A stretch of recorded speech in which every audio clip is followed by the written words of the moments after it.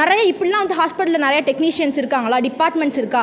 Professions இருக்காங்கிறது இப்போ தான் தெரிஞ்சுக்கிட்டோம். மருத்துவ மேலாண்மை கோர்ஸ் முடித்தவங்கள தான் அதை அப்பாயின்மெண்ட் பண்ணுறாங்க ரெண்டு வருஷம் எக்ஸ்பீரியன்ஸ் இருந்தால் போதும். அறுபதாயிரம் ரூபாய் சேலரி ஃபிக்ஸ் பண்ணியிருக்காங்க கவர்மெண்ட்டில்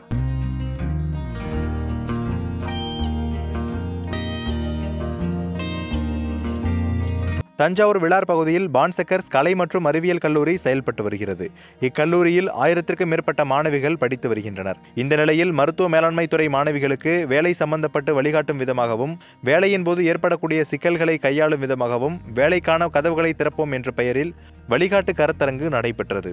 இதில் கேரள மாநிலத்தின் சாமர்வேல் நினைவு சிஎஸ்ஐ மருத்துவ மேலாண்மை கல்லூரி முதல்வர் டாக்டர் ஜெய ராஜசேகர் மாணவிகளுக்கு அறிவுரை வழங்கினார். இந்த கருத்தரங்கில் மருத்துவ மேலாண்மை துறையைச் சேர்ந்த ஐம்பதுக்கும் மேற்பட்ட மாணவிகள் கலந்து கொண்டனர்.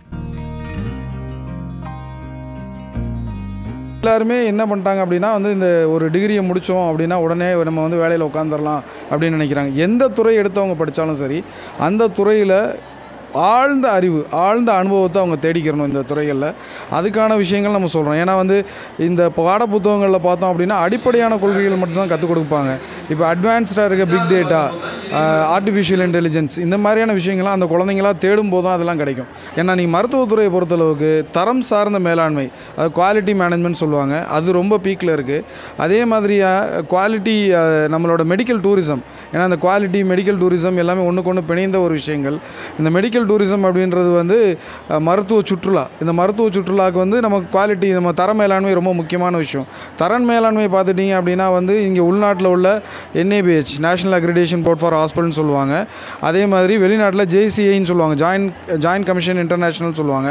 இந்த ரெண்டுக்குமே அவங்கள தயார்படுத்திக்கணும். அதில் உள்ள தர கோட்பாடுகள் என்ன அப்படின்றது இந்த குழந்தைங்க இப்பயே தெரிஞ்சுட்டு போயிட்டாங்க அப்படின்னா அங்கே உள்ள பணிகளுக்கு போகிறது அவங்களுக்கு ரொம்ப ஈஸி இப்போ நிறையா குழந்தைங்களுக்கு நீங்கள் போஸ்ட் கோவிட்க்கு அப்புறம் எடுத்து பார்த்தீங்க அப்படின்னா மேடை ஏறி பேசுகிறதுக்கு ரொம்ப ஹெசிடேட் பண்ணுறாங்க வெளியில் வரவே மாட்றாங்க.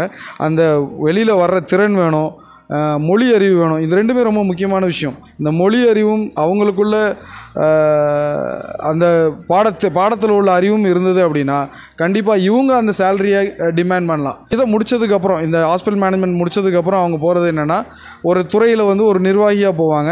அடிப்படையில் வந்து ஒரு சந்தை மேலாண்மைக்கோ இல்லாட்டினா வந்து மனிதவள மேம்பாடுக்கோ இல்லை வந்து ஜூனியர் லெவலில் போடுவாங்க. ஆரம்ப ஆரம்ப நிலையில் அவங்கள போடுவாங்க. அதுக்கடுத்து அவங்க மேம்பட்டு மேம்பட்டு போகும்போது அவங்க சிஓஓ லெவல் வரைக்கும் மேலே போடுவாங்க. சீஃப் ஆப்ரேஷனல் ஆஃபீஸர் அதாவது அந்த ஒட்டுமொத்த மருத்துவமனையும் நிர்வகி நிர்வகிக்கிறதுக்கான ஒரு நிர்வாகியாக அதை மாறுவாங்க.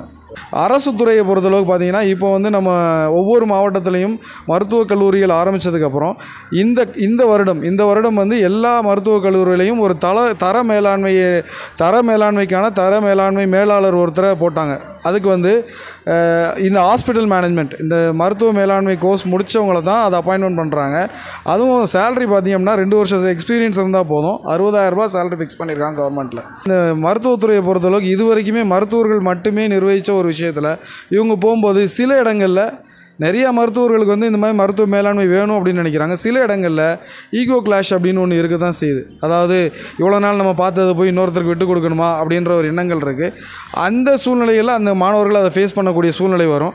அதையும் இவங்க மேனேஜ் பண்ணுறதுக்கான திறனை வளர்க்கணும். இவங்க இனிஷியல் லெவலே அது அந்த திறன் வளர்ந்துருச்சு அப்படின்னா இவங்களால அதை நிர்வகித்து போக தெரியும். நார்மலாக ஹாஸ்பிட்டல் போனால் ஒரு சில டிபார்ட்மெண்ட்ஸ் மேக்ஸிமம் வந்து எம்ஆர்டி இருக்கும் ரேடியாலஜி லேப் இந்த மாதிரி டிபார்ட்மெண்ட்ஸ் இருக்கும். இது மூலமாக நிறையா டிபார்ட்மெண்ட்ஸ் அதுவும் இல்லாமல் நிறையா கோர்சஸ் ரிலேட்டாக எங்களுக்கு தெரிஞ்சுக்க முடிஞ்சு பிஜி என்ன மாதிரி கோர்சஸ் பண்ணலாம் அப்படிங்கிற ஐடியாஸ் கிடச்சிச்சு. இது பார்த்தனால நிறைய இப்படிலாம் வந்து ஹாஸ்பிட்டலில் நிறையா டெக்னீஷியன்ஸ் இருக்காங்களா டிபார்ட்மெண்ட்ஸ் இருக்கா ப்ரொஃபஷன்ஸ் இருக்காங்கிறது இப்போ தான் தெரிஞ்சுக்கிட்டோம். அடுத்த ஸ்டெப் என்ன பண்ணலாம் அப்படிங்கிறதுல ஒரு கிளியர் ரெஃபரன்ஸ் கிடச்சிச்சு. யூஜி என்ன பண்ணலாம் இல்லை ஜாப் போனால் என்ன போகலாம் நிறைய தெரியாத விஷயத்தெல்லாம் நாங்கள் தெரிஞ்சுக்கிட்டோம். ரொம்ப யூஸ்ஃபுல்லாக இருந்துச்சு.